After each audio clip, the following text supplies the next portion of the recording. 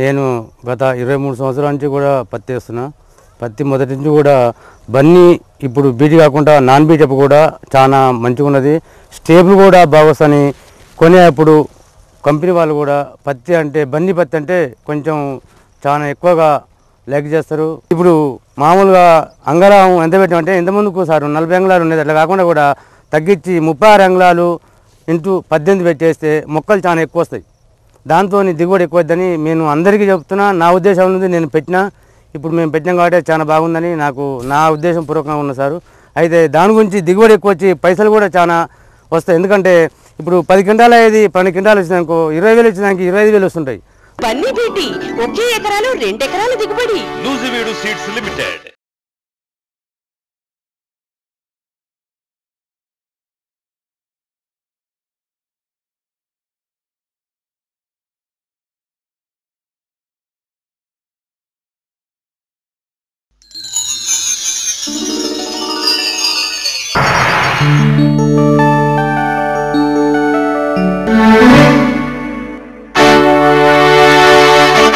Bunny BT పత్తి వేయటం వల్ల కొంచెం దగ్గర నాటుకోవటం చాలా మంచిది.